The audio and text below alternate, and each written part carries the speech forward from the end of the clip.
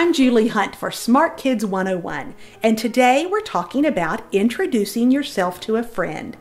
Nothing is as awkward and boring as talking to someone and not knowing their name. It's really easy to introduce yourself to someone, and there's not a lot to remember. I've boiled it down to five simple S's stand, smile, say, shake, and say. Now, let's go back into a little more detail for each of those S's. Number one, stand. You want to always stand up when you're meeting someone. Number two, smile. This just puts people at ease and it makes them more comfortable when they're meeting you. And you always want to remember to look a person in the eye.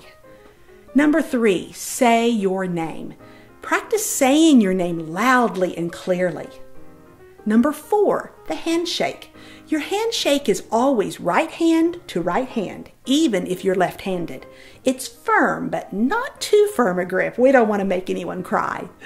The palms fit together with the fingers curled around the side of the hand and the thumbs lay across the top of the hand.